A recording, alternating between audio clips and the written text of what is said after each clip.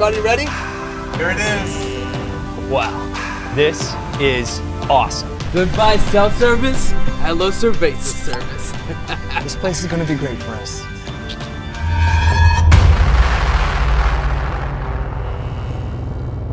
Oh yeah, free boner pills.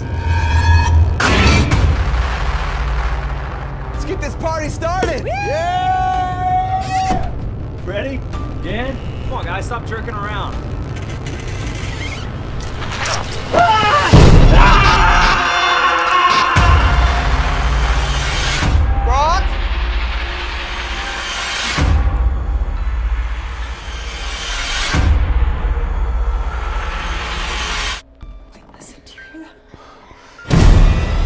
Help me! A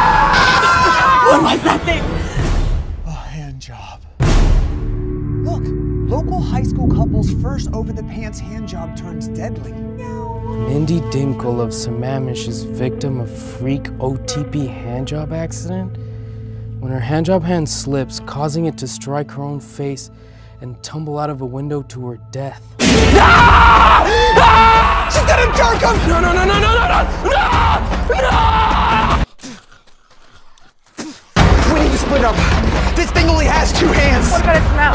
Something tells me she's not gonna use that. She won't use lotion! She wants us to suffer! She wants us to suffer!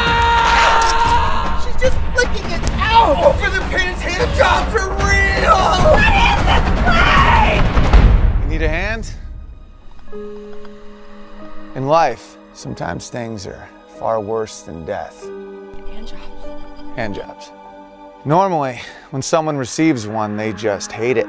But in this place, they die on the inside. And it's all her fault.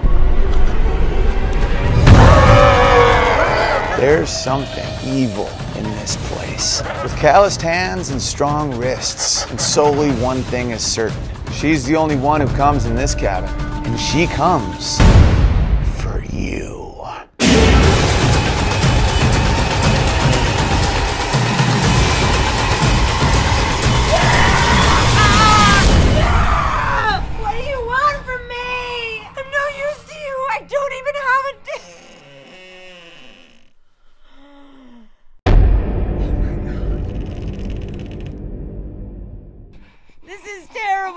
can do this better myself.